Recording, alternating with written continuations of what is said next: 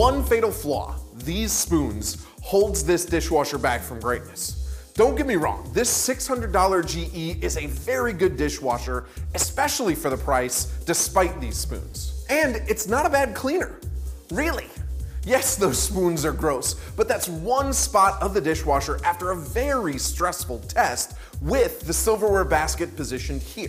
One of the cool things about this dishwasher is how many places you can put the silverware basket. And really, wherever you put it or any of the other dishes you throw in there, it's gonna do a great job of cleaning all of it, especially if you scrape your dishes. We saw some redeposit of spinach and chili, but again, we're very stressful with our tests. Scrape off the bulk and it'll do a great job for you.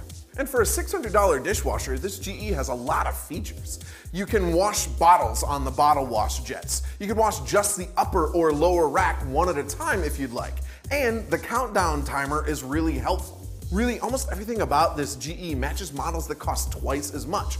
That's why I recommend it despite those gross spoons. It's a good cleaner, it has a lot of features. What it's missing is that instead of a stainless steel tub on the inside, that tub is plastic.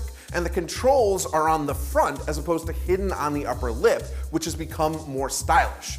If you can live without those two style-based features, this bargain dishwasher will give you a lot of bang for your buck.